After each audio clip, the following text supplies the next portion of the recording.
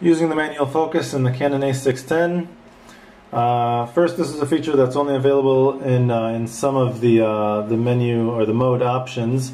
Um, personally, I prefer using the the program mode most of the time, so I'm going to show you in this mode. Uh, let's turn the camera on. Your manual focus is down here next to the macro. You see the little flower icon and MF. MF, obviously manual focus. So you press the down navigation button uh, to access that. Press it once, you get the flower. Press it again. Now we have the manual focus. Uh, and you can notice here at the bottom it's indicated with little green arrows, which means that I just press the left or right navigation buttons to change uh, the distance. Uh, now at the top, when I do that, you can see my little gauge here.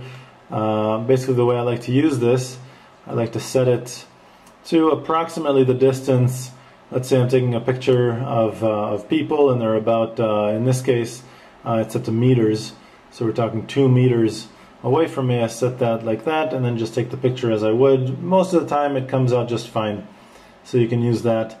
Uh, the camera does have a little square uh, in the center that you'll see when you try this. you can see it here uh, and that is supposed to try and uh, try and help you focus. But even that isn't isn't too great. I just prefer setting a distance and, uh, and using that uh, in that that sense, and then taking the picture. That's it.